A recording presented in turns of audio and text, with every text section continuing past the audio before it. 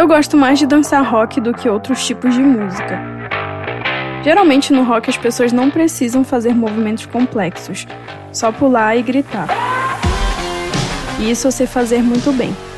Quer dizer, mais pular do que gritar. Às vezes, quando é para gritar, minha voz não sai. Eu já sabia que o tema da festa implicava que não haveria nenhum rock tocando. Seriam músicas em espanhol. Mas assim como eu não conseguia me vestir de acordo, também não consegui dançar de acordo. Então eu só bebi e fumei muita maconha para fingir que tudo estava bem e que eu conseguia ficar ali, conversar e dançar igual as outras pessoas. E aconteceu o que sempre acontece. Eu dei PT. Não sem antes passar vergonha e fazer uma menina chorar. Ainda não sei exatamente o porquê, mas isso me lembra da vez em que eu fiz algo semelhante. Na ocasião, eu só disse para uma desconhecida de todas as vezes na minha vida em que eu me deparei com a presença dela. As pessoas acharam que eu era uma stalker e saíram falando isso para as outras pessoas da festa, até eu perceber que guardar todas essas memórias em detalhes sobre alguém que eu não conheço deve ser considerado estranho.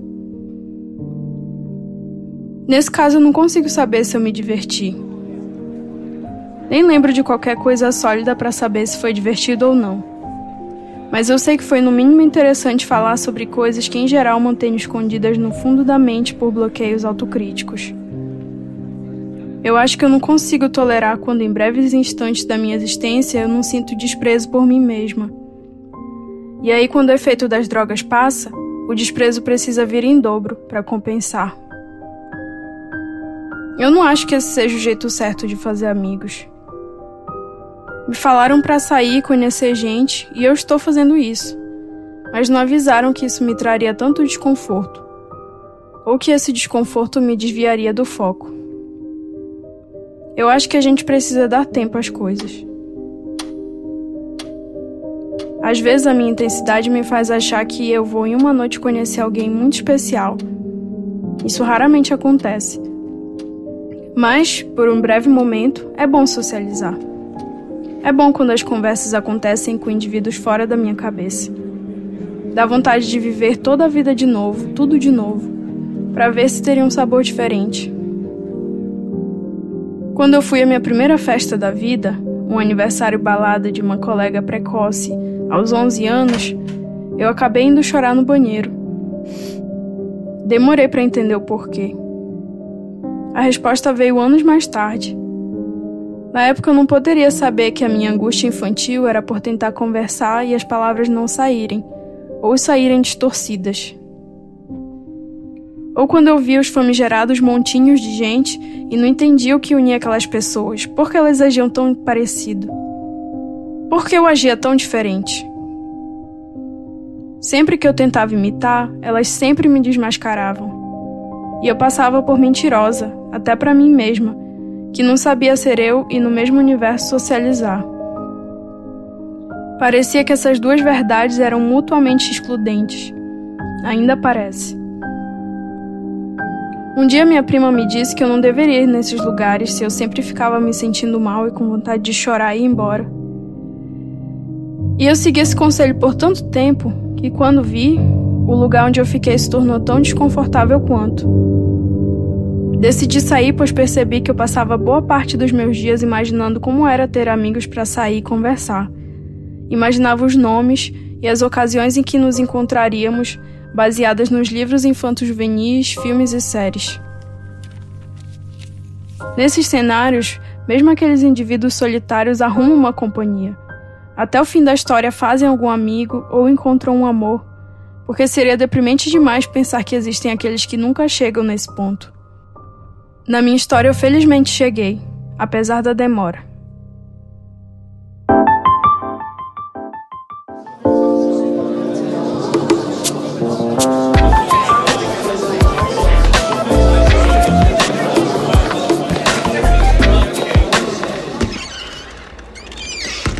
Introvertendo, um podcast onde autistas conversam.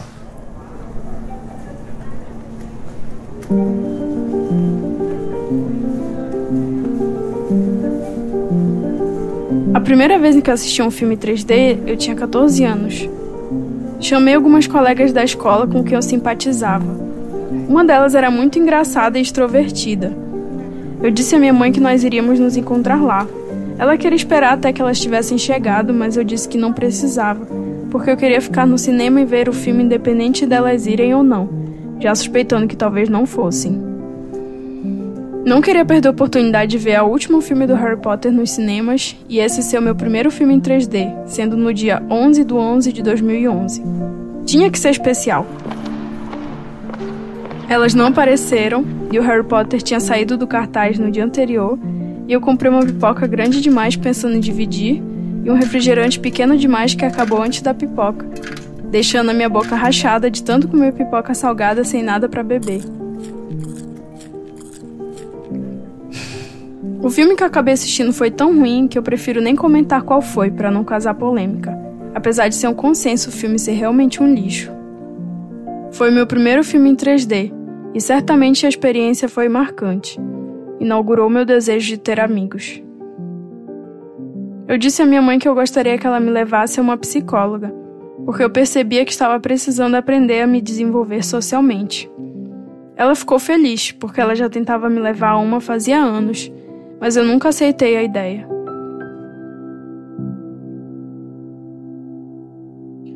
O cheiro do consultório dela era de maçã verde. Sempre que eu ia ao supermercado, eu procurava a seção de shampoos e ficava abrindo as tampas, uma por uma, das fragrâncias de maçã verde. Queria sentir o cheiro do consultório mesmo não estando lá. Nunca comprei nenhum deles, porque eu não queria banalizar a experiência. O cheiro no supermercado era só um bônus. Eu fiquei muito focada em escrever as pautas das sessões. Algumas vezes as sessões passaram a ter pautas de mais de três páginas digitadas. O assunto era prolongado principalmente quando envolvia relatos de sonhos, mas eu também compartilhava com ela alguns dos meus desenhos a lápis, principalmente aqueles feitos em folhas de caderno que eu rabiscava nas aulas. Sempre que eu tinha alguma consulta marcada para tarde, eu não conseguia pensar em mais nada no dia e ficava tão ansiosa que não parava de suar.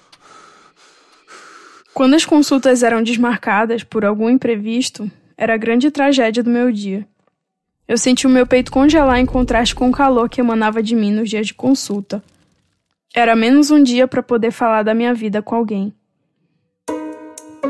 Certo dia levei uma lista de agrupamentos de traços faciais comuns entre pessoas não relacionadas que eu conhecia. Sempre que eu conhecia uma pessoa nova, eu adicionava o seu nome na pilha de outros nomes que eu acreditava terem traços faciais parecidos. Se essa pessoa não tivesse nada em comum com nenhuma outra, eu criava uma pilha nova só para ela e esperava encontrar alguém com um rosto parecido. Fiz a mesma coisa com timbres de voz. Ainda. Sim, exato. Havia também uma outra lista em que eu comparava os rostos das pessoas com animais. Algumas se sentiam ofendidas quando eu dizia com quais animais elas se pareciam. Uma delas me disse que era errado dizer que nós vinhamos de animais, porque nós viemos de Deus. Um dia a psicóloga me perguntou se eu já tinha ouvido falar de síndrome de Asperger. Eu disse que não. Então ela me perguntou se eu já tinha ouvido falar sobre autismo. Eu disse que tinha um personagem autista na série Cold Case que não gostava de amarelo, o que é o oposto de mim, já que amarelo é minha cor preferida. E também tinha o personagem André da turma da Mônica. Ela então me passou um dever de casa.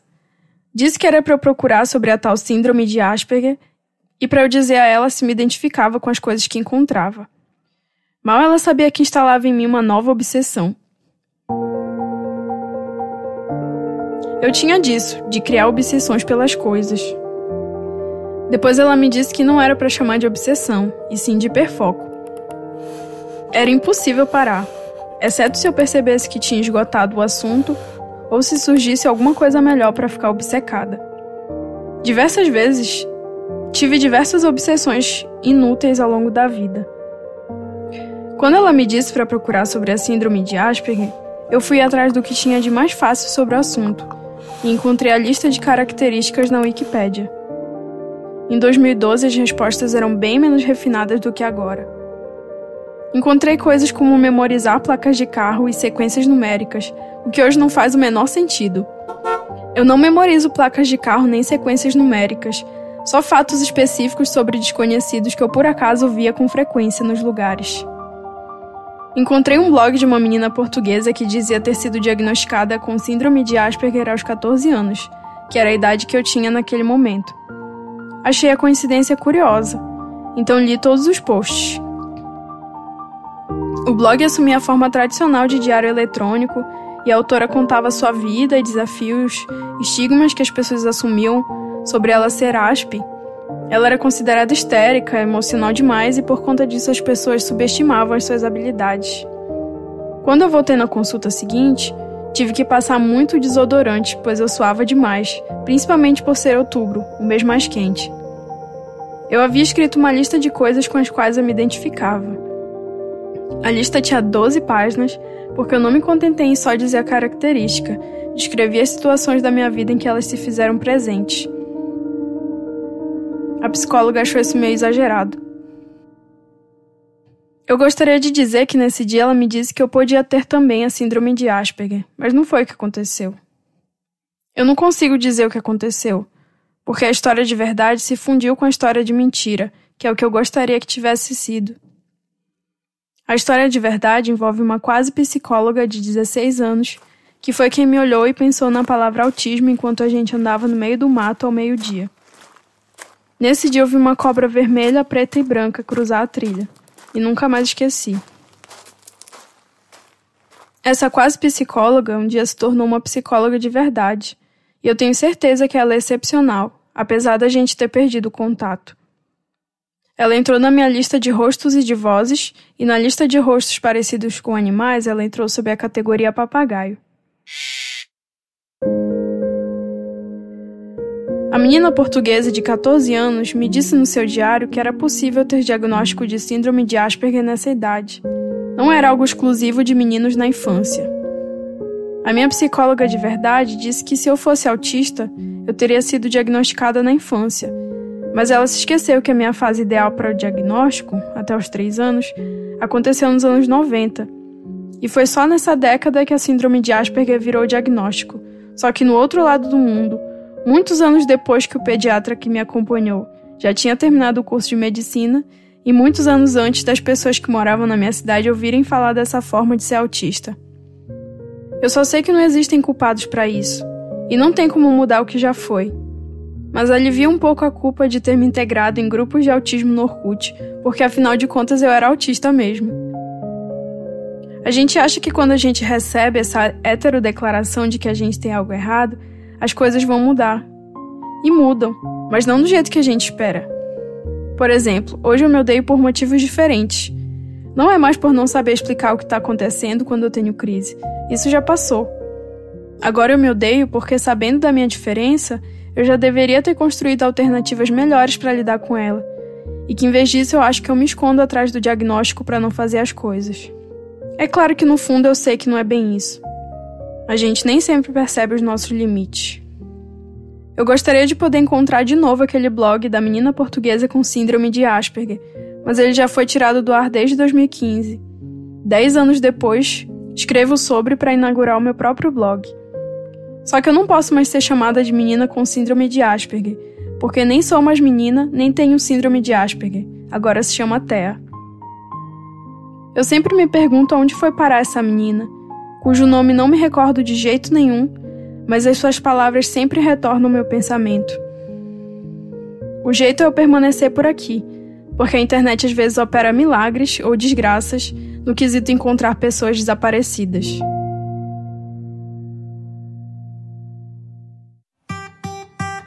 Texto e narração: Carol Cardoso. Edição: Tiago Abreu. Ilustração: Carol Cardoso. Design: Vinícius Lima. No próximo episódio. As filas prioritárias em mercados, em lotéricas, em estabelecimentos comerciais de uma forma geral, são muito ligadas a pessoas com deficiência física e principalmente idosos. E nesse contexto, o autismo é considerado prioridade por lei, mas a gente sabe que muitos autistas, quando vão utilizar desse direito, eles se sentem constrangidos, eles se sentem desconfortáveis, muitas vezes não se acham merecedores de acessar esse direito.